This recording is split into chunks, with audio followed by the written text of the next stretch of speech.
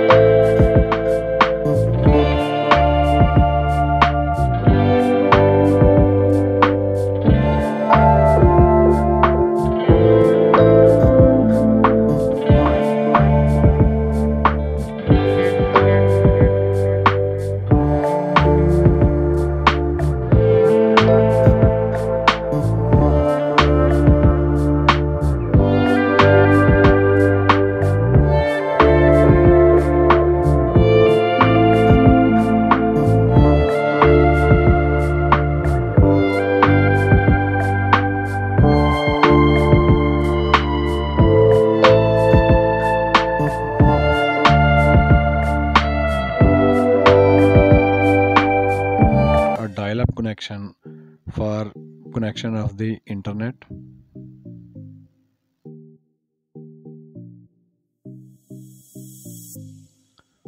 And this is the LAN card for connection over a local area network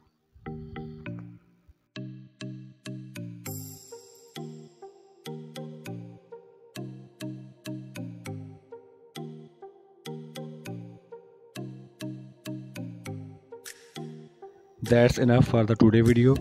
If you found my video informative please like comment and share this video.